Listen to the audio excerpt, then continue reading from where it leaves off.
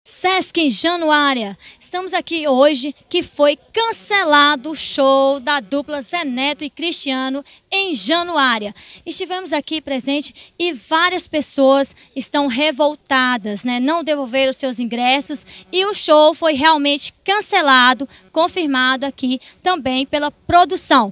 Não conseguimos falar diretamente com o produtor, que também foi escoltado juntamente com a Polícia Militar, junto do ônibus da dupla Zé Neto e Cristiano, aqui na cidade de Januária. Então, nesse momento, o show da dupla foi cancelado. Inclusive, também ia ter a DJ Samira, de Montes Claros, e outras bandas que também estavam aqui para cantar no dia de hoje, 7 de outubro de 2019, em Januária. Sueli Teixeira, jornalista,